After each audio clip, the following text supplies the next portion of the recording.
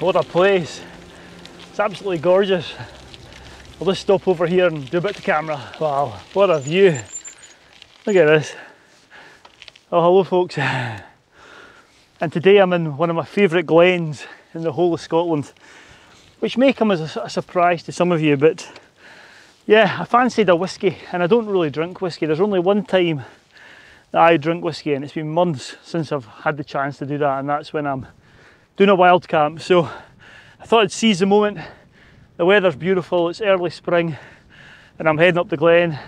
Hopefully to go to a small, I wouldn't call it a hill, a, an, out, an outcrop maybe, I don't know. But hopefully somewhere with a nice view and uh, spend the night on top of that wee hill. So you can see the sun's starting to lower a fair bit. I've got a couple of hours until sunset, so I better bash on and I'll report back when I'm further up the glen. Right, let's go.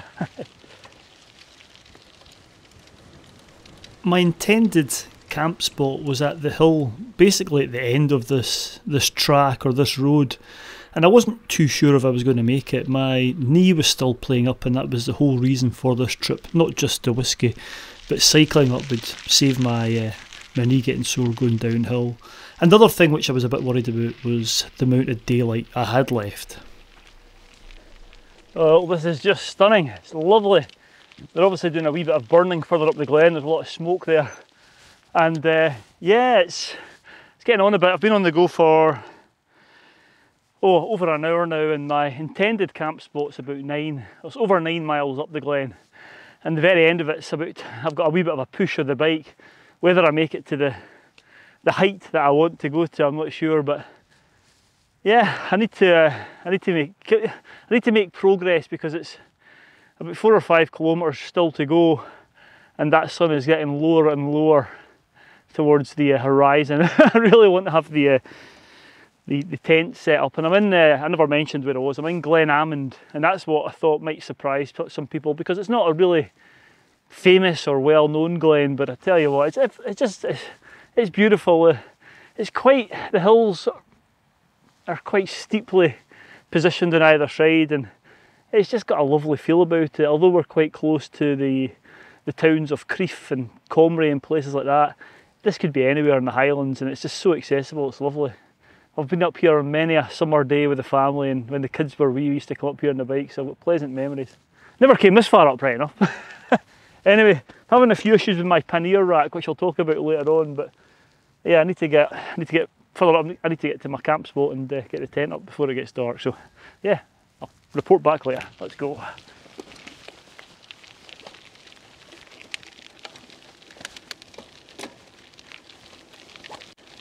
Getting closer, see there's a nice wee, uh, if I had time I'd stop and photograph that old uh, building behind me there, but uh, you can see the shadows are starting to grow long.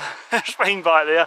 And if I spin you around, hopefully we will see this hill up here is where I'm hoping to camp. There. But I've no idea whether I'm going to get to the top or not, to be honest with you. It does look like it could be a bit of a steep push of the bike up there. But uh, yeah, the sun's just kind of sneaking behind it at the moment. Anyway, right. I need to shut up and get going. What a beautiful evening though. Hey, let's go.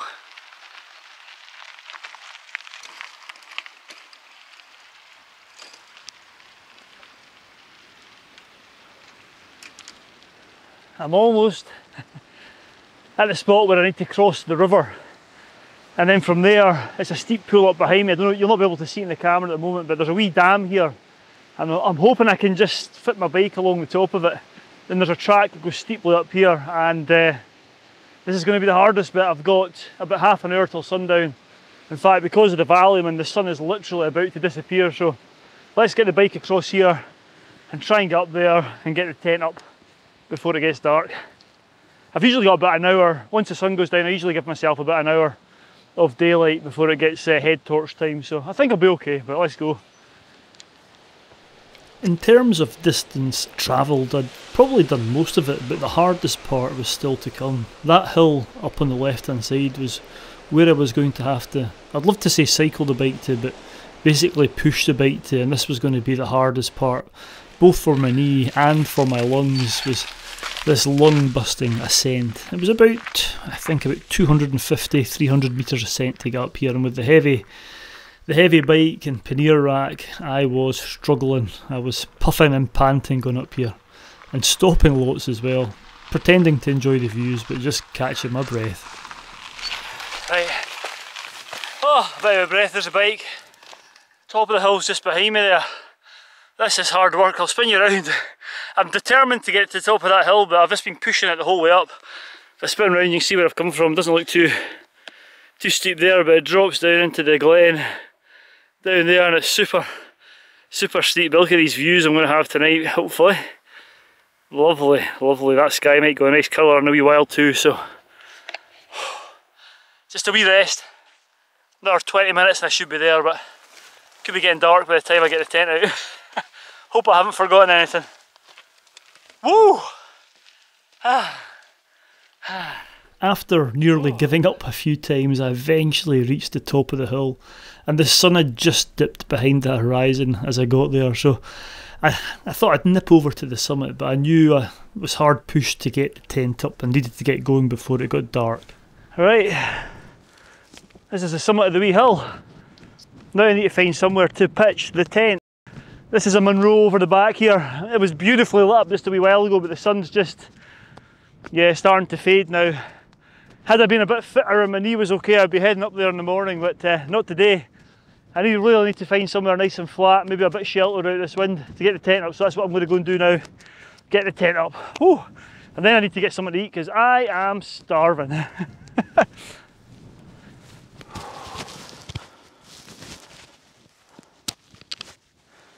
Yeah, this bit here looks quite good.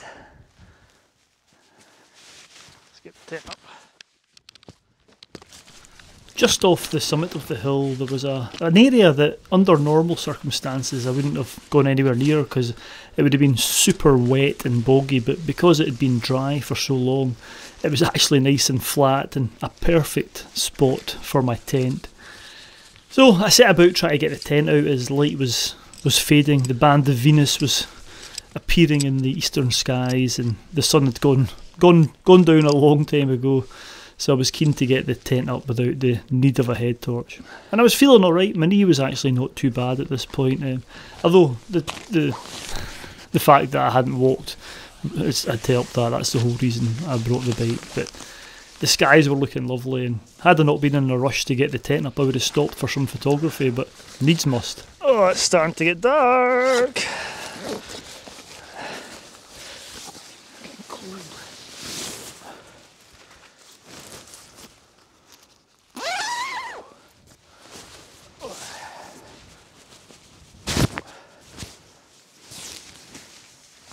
Get some food up, starving. I managed to get the tent up just before darkness fell. And as soon as I did that, I was really, really hungry, so I set about getting my dinner on and started to get ready for tea. Found myself a nice wee seat. Oh, quite comfy. A wee table here. Time for tea. Well, I've not really uh, done many bits to camera. It's been a bit of a rush. Uh, you can see I've changed. I've got my leggings on underneath my trousers, and I've actually got my big uh, duvet jacket on because the temperature is dropping quite quickly. I've got my hat on, so I'm keen to get my, my tea on now. And what I'll do is once I've had my tea, I'll report back when I'm back in the tent. But yeah, it's actually settled down a bit. The wind's dropped right down, so I think it's going to be a good night. So tea time it's now. Let's get this on.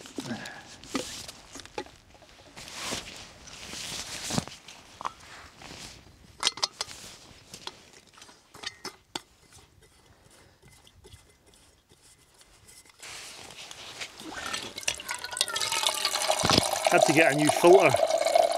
The old one clogged up and um, they're so good these ones. I've just gone for the same type again. I need to just look after this one a bit better. Alright, let's get this water on. I've got some new food tonight. On a new style, a new style, a new type, real Turmat red Thai red curry. So I'm looking forward to this. I'll report back and let you know what it's like. If it's any good. Ah,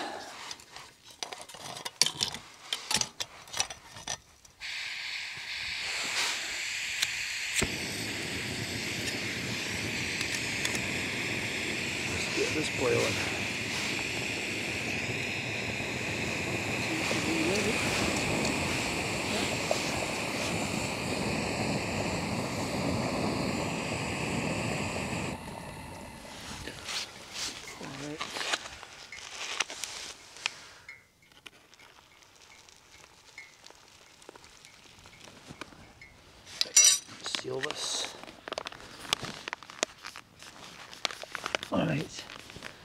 Oh, just waiting for that tea to, to cook. Let me just turn this off so I'm not shining it in your eyes. So, yeah, I am. Thought I'd do a bit to camera and just tell you where I am and uh, wh why I'm here, I suppose. so I am. It, it feels quite remote, but I'm not really that remote. I'm at the head of Glen Almond, and behind me, the silhouette, as you might be able to make out, is the 10th highest mountain in Scotland, which is Ben Lawers, which is a fantastic peak. And these are the hills that you look over to when you're on Ben Lawers looking across Loch Tay. And uh, I've brought the bike because my knee, I'm not going to talk bang on about my knee, but uh, I'm still not ready for the big hills yet. And I thought, if I can cycle up here and cycle down, because it's downhill where I get the pain, so if I can cycle down, it's going to, uh, yeah, it's going to offer me the opportunity. But I tell you what, that, that last bit, coming up, pushing the bike up, that was tough. I can feel my knee a wee bit, so I'm not sure if my brakes on my bike are good enough to, to allow me to cycle down there in the morning. But uh, yeah, it's just really needed to get away. It's just it's just nice. I'm currently just watching the, the last of the lights fading behind me, as you can probably see, and I've just just been sitting watching the stars come out one by one, twinkling away. So the moon isn't rising until about three o'clock in the morning, so I might get some nice star shots tonight. I don't know. We'll give it a shot anyway, but just now I'm going to have my tea and then I'm going to chill in the tent and uh, I've got my stove with me so I might uh, I might get that going to heat me up because it's not warm. It's uh, a bit chilly so yeah let's go and get some food and I'll speak to you in a wee while.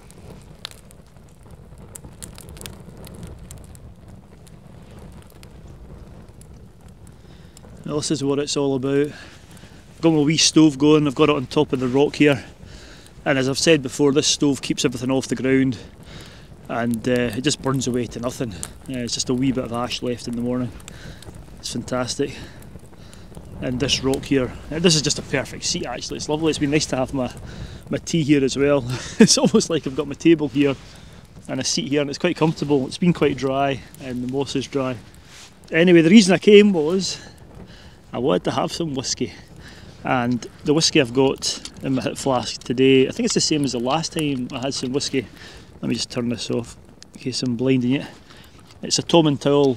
I think I think it's a I don't know if Tomintoul's a Speyside or a Highland whiskey, but it's very nice. oh yes, lovely. And as always, I've got some chili peanuts just down here to, to help me. a wee snack from my whiskey. But this is lovely. It's nice. The wind's dropped right down, as I said earlier on. The, the stars, it's just the, the sky's amazing. Once uh, once the fire dies down a wee bit, I'm going to do some astro, take some astro shots, and uh, see what they come out like. There's no moon, so it's really really starry. It's lovely, but for the time being, I'm just going to enjoy this wee fire. For it. It'll only burn for 40 45 minutes, and then that'll be me. I'll take some shots and retire to the tent. But it's uh, it's lovely. And as I said, you don't have to go too far. This um, this area is just into the Highlands and no more, but you do. Uh, it would have taken me quite a while to walk in this far, so the bike does make a big difference in these places. And uh, get some nice views. As I said, there's a Munro over there, Ben Chonzie, and Ben Lawers, the Lawers Range is, is just over there. But there's lots of Corbetts round about here as well. It's a lovely, lovely glen, lovely area. Doesn't get much attention, and um, yeah, that's that's fine by me. Get my solitude and enjoy it up here. So anyway, I'm going to shut up now, warm myself up with my whiskey and my fire, and enjoy the stars.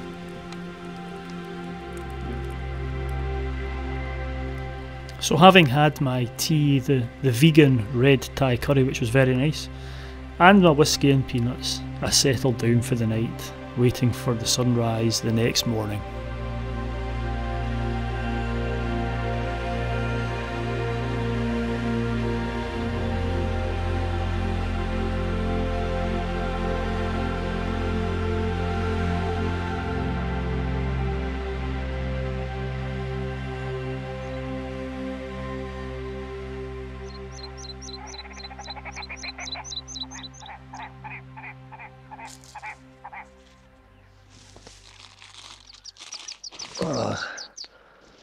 Oh, good morning.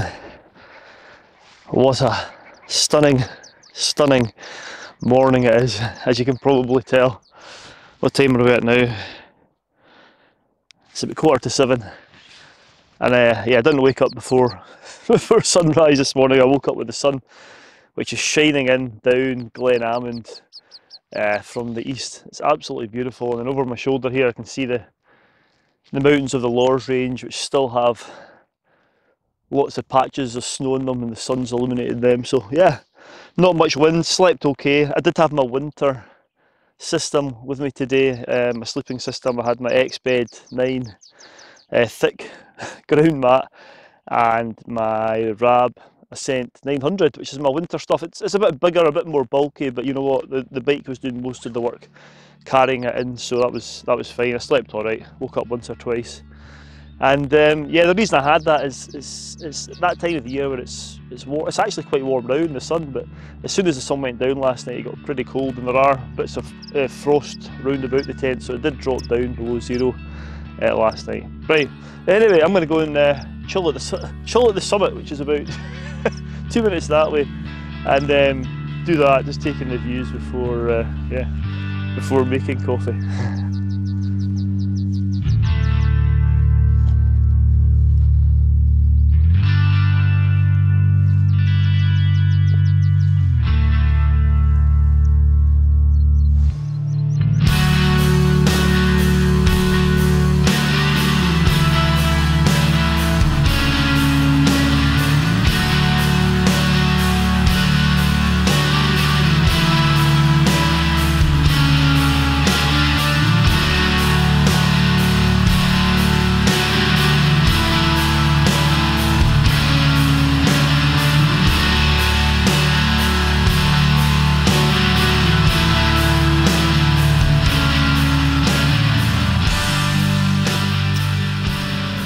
Having enjoyed the fantastic views from the summit of this little hill, my stomach was starting to protest and my brain was needing some caffeine. So I headed back to the tent and grabbed my breakfast and headed over to my wee seat and my wee table for some grub.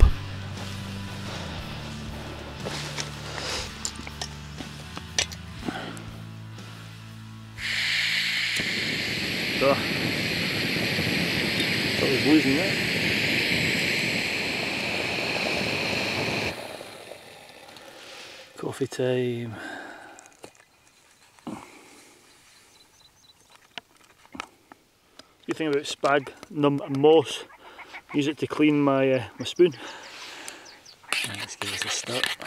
Well, for breakfast I've got a banana, a banana, a pork pie left from yesterday, and a bar of chocolate. I usually have Snickers, but uh, there wasn't any in the shop, so. But this is just fantastic. I'm just sitting here and um, behind the camera there's a bit of there's some hags, peat hags and I don't know, the small birds just bouncing about the air, bouncing about. I don't know the correct terminology would be. I think they're meadow pipits. And um, the other the other sound that I'm hearing lots of is grouse. The kind of guttural call of the grouse. It, it, woke me up this morning. There's lots of grouse round about here, and uh, yeah, it's just lovely. There's not a drop of wind, and um, there's a bit of, I'm starting to get a bit warm now. The frost has all been melted from the ground and there's a bit of warmth in that sun now. Just love this time of year, it's, it's fantastic. Anyway, I think, um, you know, the beauty of this location is I, I could probably sit here for days upon end and not meet another soul, maybe the odd gamekeeper, but uh, the, it's not a Munro, it's not a Corbett. The, the, the, the Munro behind me, Ben Chonzie, that'll be heaving with people. There's, I'd be surprised if there's not been double digit figure to the summit already and it's um, 10 to 9. Yeah, you don't always have to go, you, you, know, you don't have to go too far. I mean, I could have gone to the Ochil Hills. Um, I did that uh, with a recent video where I was watching the Aurora with uh, with Ray from Renegade um, Scott channel. And we never met another soul and felt felt lovely and yeah, it's just just nice getting away from it and I just enjoy this these sort of areas where there's less less people around. It allows you to gather your thoughts and hit the reset button a wee bit and forget about the stresses of nine to five living in the rat race and, and all that stuff. So I am just going to sit here, enjoy my coffee. I'm in no rush. It's a freewheel down. Apart from the steep bit, I honestly don't think that bike is going to be good enough for braking going down that steep bit. So anyway, I'm going to shut up now. I've been waffling on for far too long. This is just gorgeous.